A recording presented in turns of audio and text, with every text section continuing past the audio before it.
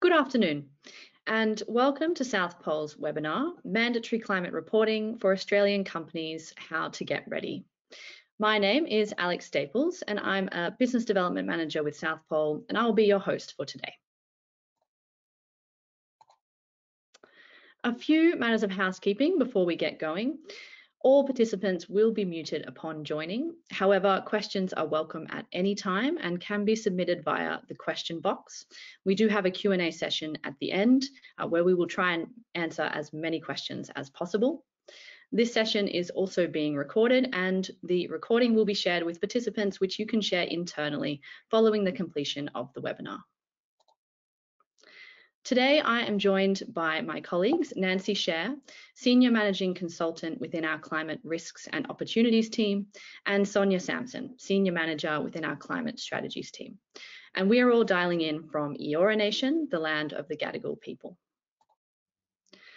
A quick overview of what we're going to cover today. Nancy will begin by taking us through the regional landscape of mandatory reporting, focusing on APAC before zooming in to Australia. She will then give an introduction to the International Sustainability Standards Board, ISSB, which is set to become the new global gold standard for sustainability and climate reporting. Sonia will then take us through practical steps that businesses can take to prepare starting from today, as well as key takeaways, and we will round out with a Q&A. At this point, I will hand over to Nancy to take us through the regional landscape of mandatory reporting. Thanks, Alex. Um, so I'm very excited today to share some knowledge about the upcoming Australian disclosure requirements um, and more about climate risk disclosure requirements generally. But first, let's take a bit more of a global view before we zoom in. Um, what you see on the page here is that across the board, there is lots of global momentum towards mandating climate risk disclosure requirements. So on the screen there, is a screenshot from the latest TCFD report, which was just released last week. Um, to take a step back for those who are a little bit newer to the climate risk world, uh, the TCFD stands for the Task Force for Climate Related Financial Disclosures. And this is basically a voluntary framework that's been considered pretty much gold standard in the climate risk disclosure world in the past five years. And indeed, many jurisdictions globally have, who have mandated climate risk disclosures have based it off the TCFD framework. So companies can sign up to be official TCFD supporters, um, which is what the numbers that you see on the screen here. Now, of course, being a TCFD report a supporter doesn't necessarily translate into having high quality TCFD disclosures, but it is at least a strong signal and starting point uh, to show your public commitment and hopefully follow through on that. So on the left-hand side, uh, you'll see that the number of TCFD supporters have increased overall about five times in the past five years, and a roughly equal split between non-financial institutions and financial institutions. Um, globally, as of the report last week, we are looking at about 4,850 TCFD supporters globally, and uh, much of this growth from the past year has been coming from the Asia Pacific region. So there is a lot happening in our region. Um, most likely quite a few of uh, that is skewed by Japan, which has the highest number of TCFD supporters worldwide. Um, there are many reasons why a company might sign up to be a TCFD supporters, um, including reputational benefits, uh, maybe stakeholder pressures. Uh, compliance is often a strong one, especially what we've seen from our clients. So especially today, we will focus on that compliance piece. If we can move on to the next slide, please. If we zoom in a little bit more into our Asia Pacific region, this is pretty much transition risk in action. There have been uh, lots of jurisdictions that have mandated climate risk disclosures. The leaders in our region are what you see on the page here. So Japan, Hong Kong, Singapore, through to Australia and New Zealand. Some interesting differences when you look at it regionally like this is how these requirements are being introduced. So some of them, such as in Japan, Hong Kong, and in Singapore, these have been pushed through stock exchanges in Australia and New Zealand, these are being pushed through by the government. So what this means is that this can influence who the requirements might apply to, as well as the pace at which the compliance needs to happen. So typically, uh, the stock exchanges can make it happen a lot quicker. Um, if you're pushing it through government, it might take a little longer just because of processes. Um, and then next slide, please. If we zoom in again in uh, further into Australia, Australian companies are about to undergo an important change to their annual and sustainability reporting. Um, so onto the next slide, a little bit of context about these requirements. Uh, it started in about late 2022. The then new government was looking to introduce requirements for companies to disclose its climate related information in line with the TCFD and um, what we'll look at in a bit, which is the ISSB standards um, embedded in their annual reports. So uh, the government has committed to this with the view of ensuring greater transparency and accountability when it comes to sharing climate related plans and its financial risks as well as opportunities. And this will help put Australia in more of a, a level playing field with the rest of the world who have already moved on to mandate these requirements. So in um, late 2022, they released a first draft and consultation paper, which ended in February this year. Then in June, they released a second round uh, of consultation paper, which was roughly around the time when uh, these ISSB standards were released. Um, and a quick note is that ISSB stands for the International Sustainability Standards Board and uh, is emerging as pretty much the, the new global standard. And so we'll unpack that a lot more in just a bit. Um, so where are we at now is um, the government still finalising the, the final uh, requirements after the second consultation. The legislative requirements set the big picture. So who does it apply to? When does it apply? Um, and alongside that, the AASB are the ones that have actually been tasked with developing the detailed disclosure standards. So these are currently being um, established and as of their board minutes last week, it did share that these are, um, the, at least the draft have been finalised and they intend to publish those shortly, whenever that is. Uh, but when it is published, there will be a 120 day consultation period for people to provide feedback on, and there should be three documents, one for each of the ISSB's two standards. So um, they have what we call S1, which is the standard for sustainability generally, and then an S2, which is specifically for climate. So one for each of those, and then a third document will be more of a reference document. Then the standards are intended to also apply to both for-profit entities and not-for-profit entities. So let's keep our eyes peeled for the draft standards uh, when they are shared by the AASB. But the bottom line is that for companies that fall within the scope of the proposed requirements, they need to be aware what they are expected to report on. And I assume that's what most of us are here for today. Um, when they will be phased in, uh, because they will be phased in over a three-year transitional period. So if we move on then to the question, who are the companies that fall within the scope of the requirements? Um, they are, there are three size criteria that are being considered and um, each of these are relating to employee numbers, your consolidated gross assets at the end of your financial year, and your consolidated revenue. So if you meet two out of three of the criteria listed in each of these three groups, you would fall under that group. So it is over three years, starting with the, the larger entities and slowly expanding the scope of that to include um, medium and smaller entities. Um, I would also note that it does say consolidated, so this would include any entities you control if you are uh, a rather a bigger entity and you have entities that you do control. Uh, another interesting point here is if you are a controlling corporation and you report under the NGERS Act, um, there are separate requirements or separate criteria for you. So um, if you are registered under the Corporations Act as a controlling corporation um, and you are reporting to NGERS, I, I, believe you should know who you are if you do. Um, and you meet the publication threshold, you would be in the first group. So the publication threshold we've just uh, indicated on the screen there, but that relates to um, your scope one and two greenhouse gas emissions. Um, and if you exceed that, then you would report to NGERS. Um, by the end of the transition period in Group 3, this would be for all controlling corporations. And all of these years that you see on the screen here refer to financial years.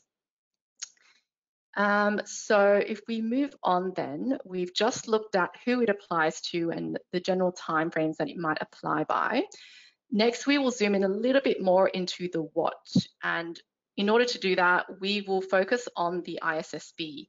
And uh, there are a few reasons for that, but uh, one is that the, double I, the double AASB have made it quite clear and Treasury have made it quite clear that um, their intention is to align as far as is practically possible to the ISSB. And uh, the, it is also really regarded as the new global gold standard. Um, the TCFD report that was released just last week will in fact be its last status update report because it's already transferred its monitoring responsibilities over to the IFRS, which oversees the ISSB. So um, the ISSB is really set to be the new global standard, but why? So on the next slide, uh, we'll see that it consolidates and draws upon a whole bunch of existing climate reporting standards. And the intention of the ISSB was really to streamline all of these uh, as much as possible so that companies can streamline their reporting and hopefully it can save you time as well. At the same time, improve comparability uh, internationally while providing investors with still decision useful information. So hopefully um, maybe a lot of the, um, the acronyms on the page might be familiar to you. So GRI, CDP, SASB, integrated reporting, and of course the TCFD. And hopefully it will be welcomed as well um, because hopefully that will be less reporting for you. Um, another point to note here is that the ISSB is voluntary. So it only becomes mandatory insofar as jurisdictions adopt them. And um, how they adopt them or the extent to which they adopt them is up to the jurisdictions. So we'll see how this plays out in the Australian context shortly. Um, of course, if you do want to be a leader and align with the ISSB voluntarily, that is of course open for you to do. Uh, quick question then, does that mean the TCFD will become defunct? I, I mentioned the body itself will become disbanded, but in terms of the actual framework, no, it still lives on. So um, on the next slide, um, you will see the overall structure of the ISSB standards, which is um, the overall structure is four pillars, as you'll see on the screen, and this is almost identical to the TCFD because it drew very heavily upon the TCFD when it was being developed. So uh, starting with governance, this is about what processes, uh, controls and procedures you have in place for your board and your management to monitor, manage and oversee climate related risks and opportunities.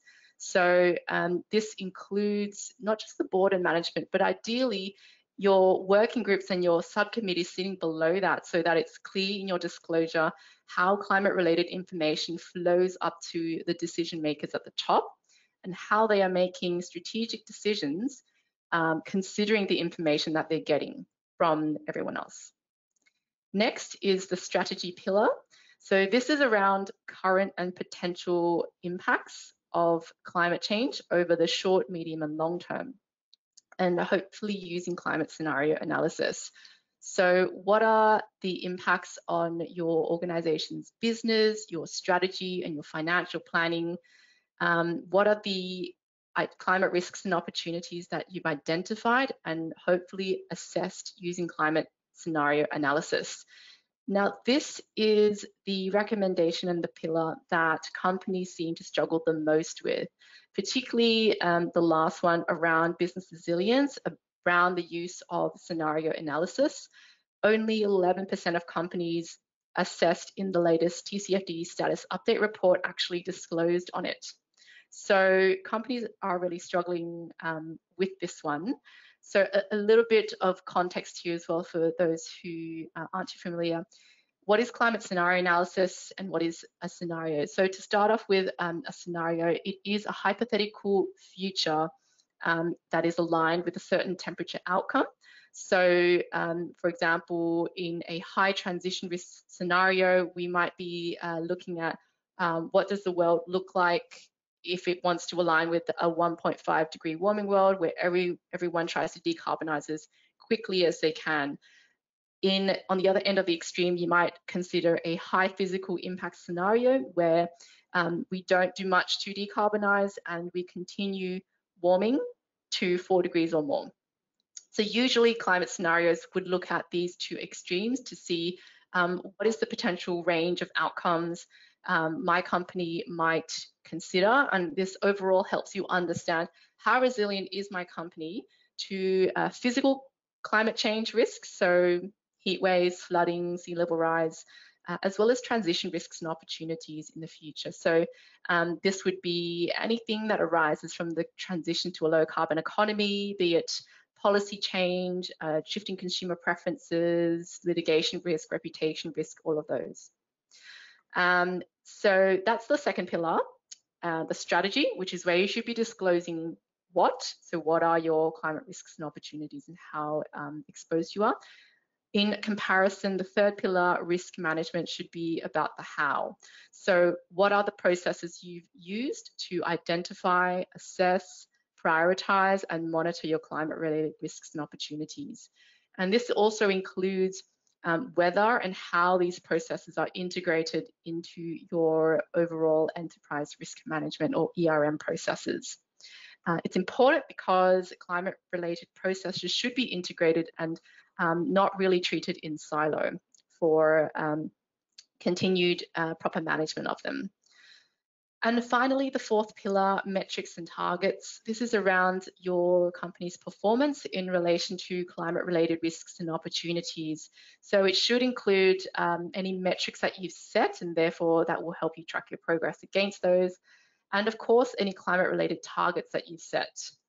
A key thing to call out here is that it includes greenhouse gas emissions, but it is also more than this. There are climate related risks and opportunities beyond emissions. So that's the overall uh, structure of the ISSB and the TCFD. If we go to the next slide, we dive just one layer deeper and explore uh, where the ISSB might build on or um, make explicit TCFD, make TCFD recommendations more explicit. So um, for example, in the strategy pillar, there is an expectation that you disclose quantified financial impacts of climate risks and opportunities. And so this is where you need to be able to disclose how um, physical or climate risks and opportunities impact your financial position, financial performance, or your cash flows. So basically your, your financial statements um, in your annual reports. So this could be um, impacts in terms of a range or a single amount uh, in terms of financial terms. And um, this is more of a reinforcement of the TCFD's exist existing uh, expectations. And um, additionally, the ISSB uh, requires that entities disclose the amount or percentage of assets or business activities that are vulnerable to uh, physical and transition risks um, or assets and um, business activities that are aligned with climate related opportunities. Another key uh, call out is that in the ISSB, there is a greater focus on climate transition plans, which is a pretty new topic in the uh, climate world. Um, basically, reporting entities must outline how they plan to transition to a low carbon economy and achieve any climate targets that they've set. So these plans should include uh, any current and anticipated changes to your business model, your strategy, your resource allocation, or your capital alloc allocation as a result of uh, the results from your climate scenario analysis, which should tell you how exposed or how vulnerable you are to certain climate change risks and opportunities, and which ones are the most material ones that you should focus on. Um, another area where the ISSB uh, goes further or differs from the TCFD is in the risk management pillar. So the TCFD focused specifically on climate risk. The ISSB now expands this to include climate opportunities. So disclosing you on your processes to identify, assess and manage those too. Um, there is also an expectation to share more detail around the extent and the nature of integrating those climate uh, processes into your ERM processes. Um, and then a, a, couple of other points to call out here is in the metrics and targets pillar, specifically on scope three, which are your indirect emissions up and down your supply chain. So the ISSB does require disclosure of scope three emissions in addition to your scope one and two. In the TCFD, this was previously encouraged if you had deemed a scope 3 category to be material, but it wasn't explicitly made mandatory. The ISSB makes this mandatory. Um, additionally, financed emissions, which is uh, category 15 of scope 3, must also be disclosed by entities involved in asset management, commercial banking, or insurance. So basically, most financial institutions need to disclose their financed emissions under the ISSB. Um, the Australian requirements uh, require material scope 3 categories at this stage, but again, we, we should wait for the, the draft standards to be formally issued. Um, finally, here, scope two emissions, so um, the ones that relate to your electricity use. Um, the ISSB requires a location-based approach. So again, for, uh, for those who aren't super familiar, um, the Greenhouse Gas Protocol outlines two methods for calculating your scope two emissions. One is a location-based approach, which reflects the average emissions intensity in your grids while a market-based approach reflects emissions from electricity that you might have procured, so maybe through contractual instruments or renewable energy certificates. So the ISSB requires location-based. Um, interestingly, um, last week's AASB board minutes indicated that they were um, leaning more towards the other approach. So um, in short, what this means for entities, is it's probably safest to report both location-based and market-based scope 2 emissions, especially if you're looking to be both a leader um, and comply with both Australian requirements and the ISSB. So I know that was a lot. Um, to if we go to the next slide and just to close the loop coming back to the Australian requirements, um, a final point of difference with the ISSB is that the Australian requirements actually mandate your disclosures to be assured, whereas the ISSB do not explicitly require that. So there are varying levels of assurance that will be phased in as you see on the page here, um, starting with limited assurance for some aspects and then slowly moving to reasonable assurance um, later on. And you'll see on the page there some specific recommendations that these different levels of assurance pertain to.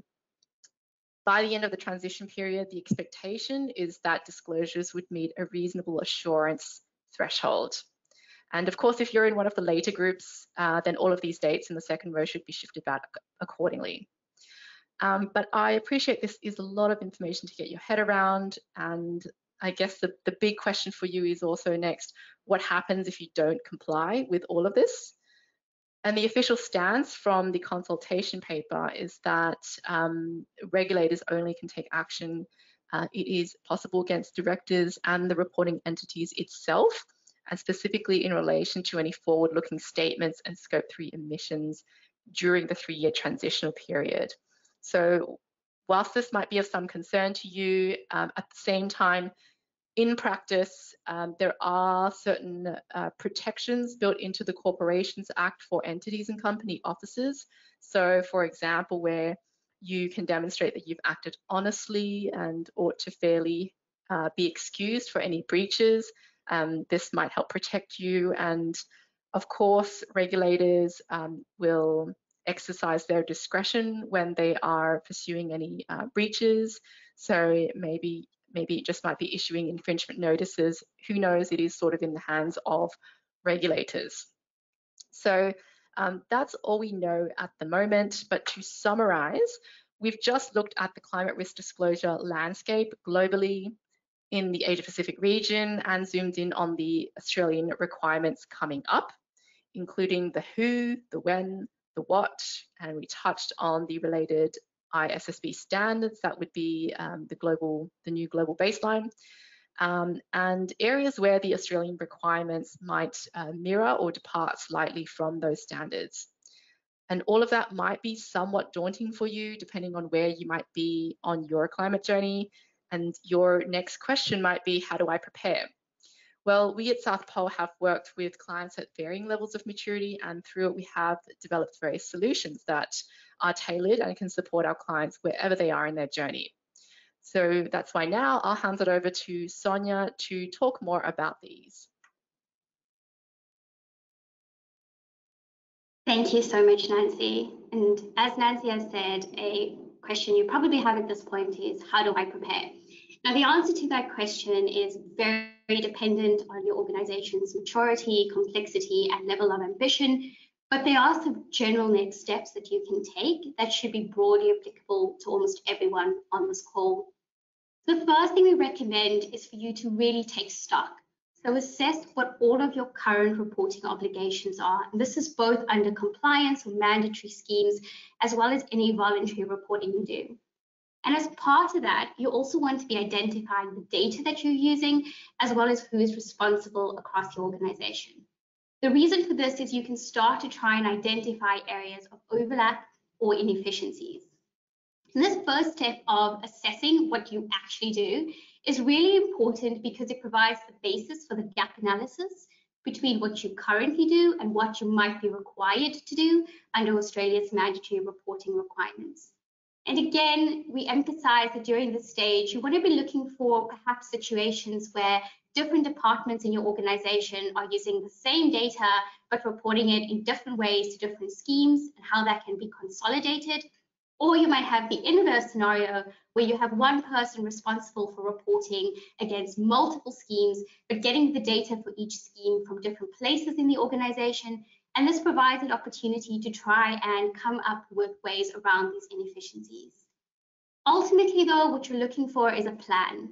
So a way to close the gap between what you currently do and what you may need to do. So an example is you may say, well, we already do robust reporting of our scope one, two, and three greenhouse gas emissions, but the next step is we need to set an emissions reduction target. So that topic, that title, set emissions reduction topic or target, then becomes a key step on your multi-month pathway to full compliance. And this can help you take all this jumble of, I don't know what to do, there's climate risk, there's greenhouse gas reporting, there's targets, and actually lay it out in a linear fashion, which also helps you understand who in your organization you may be reaching out to for support along the way. I think what's really important for us to emphasize is that this exercise is not just to identify what you need to do to report, but it's also going to feed into your broader sustainability and climate strategy. Throughout this process, you want to be doing this review of your data systems and internal systems. This space is not going to get less complex. And so making sure you have good foundations in place to support new and increasingly complex requirements will only serve to make this journey easier for you. Along the way, as Nancy alluded to, make sure that you're transparently communicating progress what you intend to do next, and how that action plan will help set you up for full compliance. And of course, this is a dynamic time, not only in Australia, but globally. So you need to make sure you're keeping an eye out on the continuously evolving requirements for reporting, but also your broader strategy. Now, if we go to the next slide, please, Alex, the reason I keep emphasizing this connection between reporting and your broader strategy is because it's important to see the ISSB, the AASB requirements, all of them as not standalone, but really part of your broader climate journey. So on the screen here, we have what South Pole calls the climate journey. And the first step is to measure and understand. So this is measuring your greenhouse gas emissions and understanding your climate risks and opportunities. The next step, once you know where you are, is to identify where you want to be, so setting targets, and then creating a roadmap that connects the two. And these two steps of measuring and setting targets are very fundamentally aligned with what the mandatory reporting requirements are asking you to disclose under the four pillars that Nancy alluded to. But it's really important to also understand that it doesn't stop there. It's not a checkbox exercise of setting a target and reporting it. These steps are in place to allow you to enact tangible change. So you should be using this information to take greenhouse gas mitigation steps and reduce your footprint, fund climate action through, for example, beyond uh, value chain mitigation actions and continuously communicating and leading. So on the next few slides, I'll step through three examples of gaps that you may come up against or tasks you may find you need to do in your organization. I'll give you some quick pointers on questions you need to be asking to take on these steps and also demonstrate how South Pole could potentially support. And then we'll go straight into key takeaways and Q&A. So on the next slide, Alex, we talk about greenhouse gas reporting. Greenhouse gas accounting is foundational. You really need to understand your greenhouse gas footprint to make sure you can report on all relevant emissions categories. And for most of us on this call, this means we cannot ignore scope 3 emissions. And when you're busy calculating your scope 3 emissions, key questions to ask is, are we using robust internationally accepted frameworks like the Greenhouse Gas Protocol? How are we aligning to frameworks like NGER, if that's applicable? And then when you do have your footprint, that it's not just a set of numbers for reporting, but it can really help your business with key insights. For example, where are your emissions hotspots? Which facilities, which geographies? And then presenting this in a visual way that can help you communicate both internally and externally. So on the screen, we have some examples from some of South Pole's reporting. And here I want to emphasize that this can either be a very complex process if you are a very complex company in a complex sector, but Southpol also has tools to support companies that may be in less complex sectors develop their greenhouse gas footprints in a quick and easy way to get this answer in only a matter of a few weeks. On the next slide, we look at the next step, which is target setting and developing a greenhouse gas um, or a emissions reduction roadmap. So here, key things you want to take note of asking is which framework is applicable to my company? Of course, we want to be aligned with 1.5 degrees, so you want to be looking at frameworks like the Science Based Target Initiative, but you also need to be asking what other frameworks are applicable to my sector and what are my peers doing. Then you need to make sure you're assessing the key criteria within your company. What is our scope? What is our ambition? What is our coverage before setting the targets? And once you've set the target, developing this roadmap for emissions reductions. Your company may even choose to then take the final step which is getting this validated under a framework like the SBTI. Again, for very complex uh, organizations in complex sectors, where you also have different facilities with unique emission reduction opportunities, this can be a time consuming process and it can take several months and we can absolutely support companies with this, but we also have tools that can enable certain companies and sectors that are perhaps less complex or where the emission reduction opportunities are more well known to be able to get these answers much faster. The last example I'll through is in climate risk. And as Nancy has shared, there are several steps in identifying both your physical and transition climate risks and opportunities, assessing them, quantifying them, so working on what the financial impact is, and then most importantly, developing that business strategy to build resilience in your organization. A key aspect I want to call out, yeah, is a very unique tool and offering that South Pole can provide, particularly for physical climate risks, where using inputs on your geographies and key locations of your key facilities or assets, we can put this into our tool and rapidly give you insights presented in a very visual way of how your assets might be exposed to physical risks like extreme weather events, rainfall, or heat stress. And so this can be a quick way to get started and already be able to start identifying those physical climate related risks for your company. So just three examples, but of course there could be a myriad of actions that come out. So on the next slide, a few more we've spoken about is potentially you have already identified your roadmap for emissions reductions. You know that a lot of that sits in transitioning to renewable electricity, but you're not sure what the best options are in terms of PPAs, LGCs, or even on-site RE solutions. You could be in a unique sector, like agriculture, and here you're looking for specific solutions, for example, around insetting, or potentially your impact sits more in something like plastics instead of greenhouse gas emissions directly. All of this just to say that developing that action plan is how you will identify these particular steps, put them in a linear order that makes sense so you're building upon the lessons from the next step, and of course, these are all steps that South Pole can support with both in um, an engaged bespoke process where we walk with you over several months or leveraging some of our tools, which we have for all of the um, examples you can see on the slide, where we can do a quick start solution for you and help you get answers quicker. That all being said, the key takeaways from today. So our three main takeaways is climate related reporting will soon be mandated. Of course, we know this, and that's why you joined the webinar today. But the point we want to emphasize is this is not several years away. This is happening now, and the first group of entities will be affected in the FY24-25 financial year, with it cascading to other entities.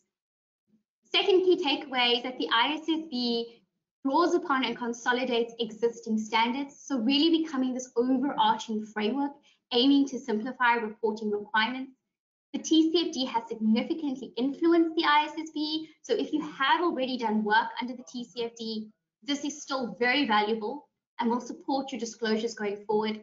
But it's important to note that the ISSB does go further and call for more detailed disclosure in some aspects. And we will soon be able to see how this will translate into the Australian regulatory framework once this is announced for consultation. And lastly, the time to start preparing is now.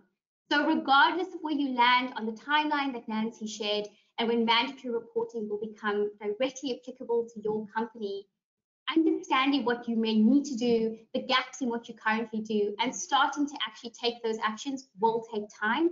So we highly recommend that at least the first step of understanding what you need to do and starting to put in the preparatory work is something that everyone on this call starts as soon as possible. With that said, I'll hand over to Alex to take us through the last sections of today. Thanks so much, Sonia and Nancy. So before we move on to the Q&A, and I encourage you now, if you haven't already, I can see some questions coming through, but please do put your questions in the question box. Uh, and I know there are a lot of uh, South Pole clients joining uh, on the call today, but for those who are perhaps not as familiar with South Pole, uh, we uh, have been in the climate space for 17 years uh, and started as a carbon project developer, but today we are a full service climate consultancy helping clients uh, right across their climate journeys all the way through to communicating their action. Uh, and we're right across the world. We were founded in Switzerland and still headquartered there. Uh, and in Australia, we have offices in Sydney and Melbourne. So moving on uh, to the questions, and I'll invite Sonia and Nancy to um, turn their cameras back on so we can see them and I can see the questions coming through. So uh, perhaps this first one for Nancy, do we need to create separate reports for each subsidiary or only report at the company level? Great question, this one. Um, so we have to read in between the lines here a bit because the um, consultation paper doesn't explicitly go into this in detail, and of course, we're still waiting for the AASB um, standards. So if we read between the lines and look at the thresholds um, for the size criteria, they do talk about consolidated asset values and um, revenue. So it sort of implies that you should also cover any subsidiaries that you include in your normal consolidated figures. So the next point is I think we need to remember there is doing the actual back end of the work. So in order for something to actually report on, this might be, for example, doing the actual scenario analysis if you haven't actually done any. Um, and practically speaking, some of that may be done together across all subsidiaries and some of it might need to be more phased in. Um, depending on what level of resources you have uh, in your company and what your priorities are. But once you've done the back end work and you're thinking about whether or not to report separately or altogether, um, we would probably suggest both depending on the purpose of the reports and your intended disclosure strategy. So for example, what uh, goes into your annual report and your financial uh, filings versus your sustainability report versus a standalone um, TCFD or ISSB report, and for which entities um, would you do this for? So we do help our clients walk through these when we deliver our work. Um, but it, but I would imagine as well for each of your subsidiaries, there will be stakeholders who are interested in knowing um, the information for that specific subsidiary. So it might still be worth to do separate reports too. But the bottom line is um, that's reading in between the lines and we just need to wait a bit more until the detailed standards are developed and we'll hopefully cover uh, some of these more detailed questions. Thanks very much, Nancy. Uh, another one for you. when you are a global company that triggers, say, Group 1, does your disclosure only have to cover your Australian operations or does it need to cover global operations?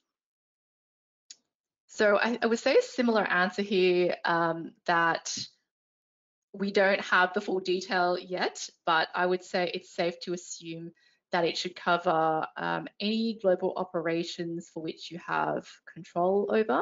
Um, if you normally count them uh, in your consolidated figures, then I would suggest you should cover that uh, just in case.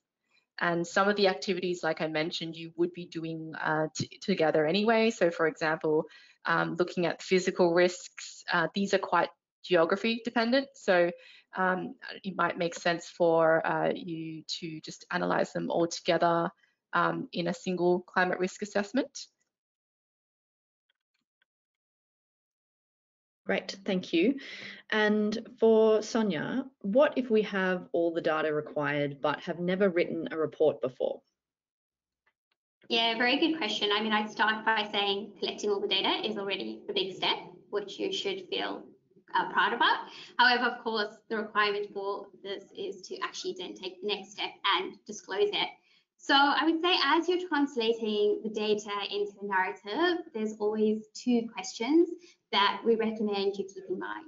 The first is what is the key insight that a company or somebody reading this would want to walk, I want them to walk away with. So making sure that you're not just transferring numbers for numbers sake, but providing insights. And the second one is to provide enough context or supporting information so that somebody who is not perhaps intimately uh, acquainted with all of the acronyms and underlying details in the ISSB and TCFD framework still have enough to enable those keywords, decision useful insights. Um, of course, this is something that a company like South Pole can help with to draft those disclosures or review once you've drafted them yourself. Thanks, Sonia. Um, all right, and back to Nancy. Is mandatory reporting, reporting coverage also conditional on the organisation having obligations under 2M of the Corporations Act? The short answer would be yes. So um, the requirement applies to all entities that meet prescribed size thresholds and that are required to lodge financial reports under Chapter 2M of the Corporations Act. So um, the requirement is expecting the disclosures to come through in your annual reports.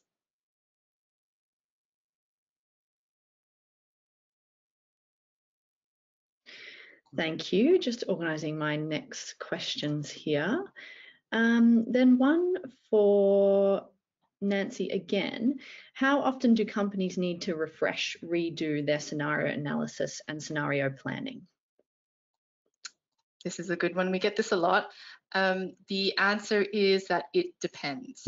Um, so it depends firstly on what risk we're talking about. So uh, for example, physical risk databases, uh, especially ones that come through the IPCC um, using data sets which are global standard, uh, global gold standard, these are released um, probably every five to seven years, and that's just because it's a huge, extensive academic process um, where all the client climate scientists get together and they um, agree on, on these data sets. So um, considering that uh, climate physical risks aren't expected to really intensify until the latter half of the century, combined with the pace at which new information might be released, it's a little safer to do to refresh your physical risk assessments um, less often than you might need to do it for transition risks. So transition risks, um, the nature of it is that um, it arises if there's a lot of um, movement towards a low carbon economy, uh, whether it's policy change or consumer change, etc. So that implies already, um, especially considering the, the climate or the environment that we're operating in now, we're seeing lots of momentum there.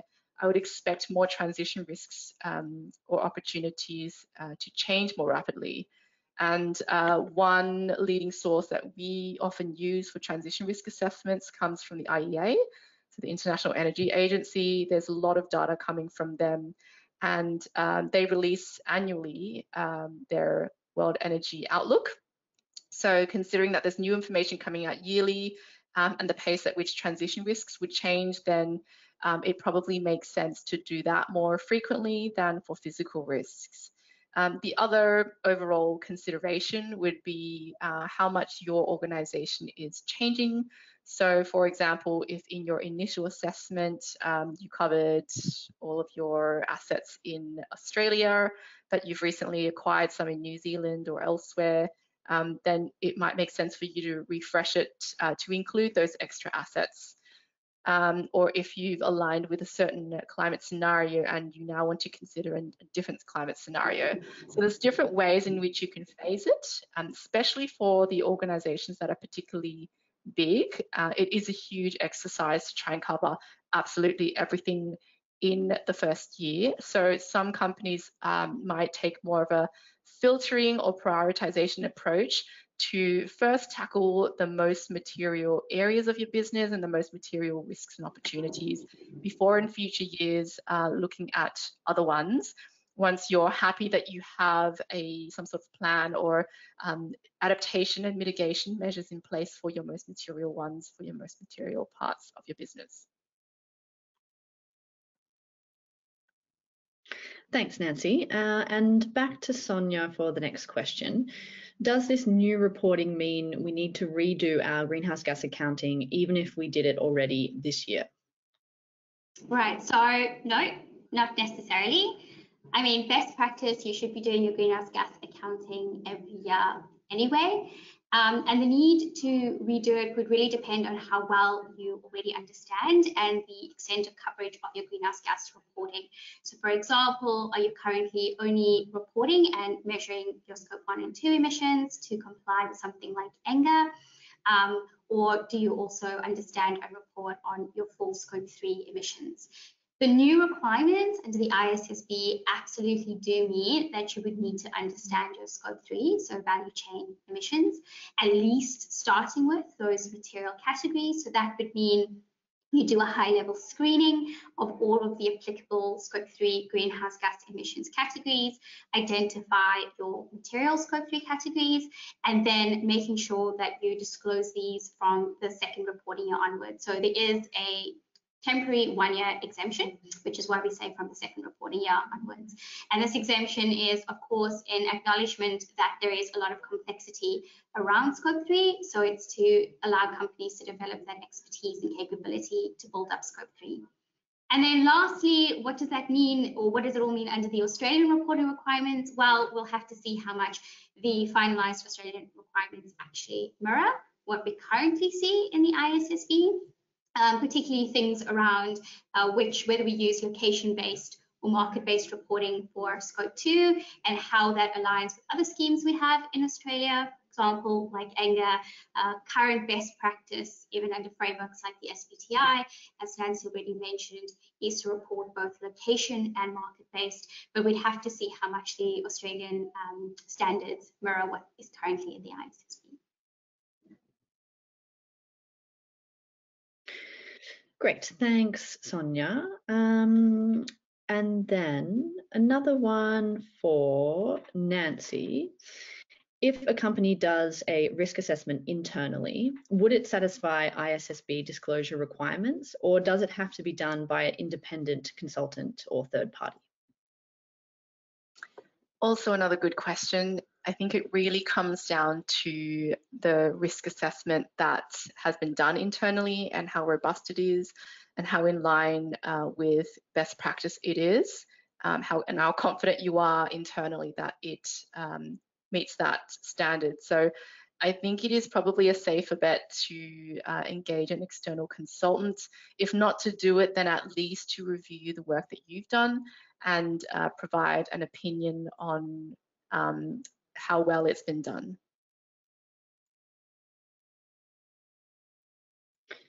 Thank you. And another question for Nancy. Within my company, who should be taking on the role of doing the reporting? So there's no hard and fast rule about who should be taking on this role of reporting amongst our clients. We have seen it sit within finance teams, risk teams, sustainability teams, or even legal teams. The overarching comment I think that we would make is that you do need to gather inputs from cross-functional stakeholders to make it happen and it shouldn't be done in silos. Um, it would still be wise to have a dedicated function that leads it wherever this sits. The finance team is obviously a critical function because the ultimate aim of the disclosure uh, requirements is to integrate the climate related information into its uh, financial filings or statements. But the issue is that finance teams do not traditionally have the skill sets required to conduct climate scenario analysis in line with best practices. And once you've done that, to interpret the results from it and then to draft these in a digestible and easy to understand manner for investors or stakeholders. So I mean, that's why companies and teams like us exist. That's why we have a job. Um, it's, for example, scenario analysis is something that we take months to do, um, working with a very uh, cross-functional team. We have climate scientists, um, strategy consultants, engineers, financial experts, lawyers, uh, ex-internal auditors on the team so that we can come together and bring a really balanced view for our clients.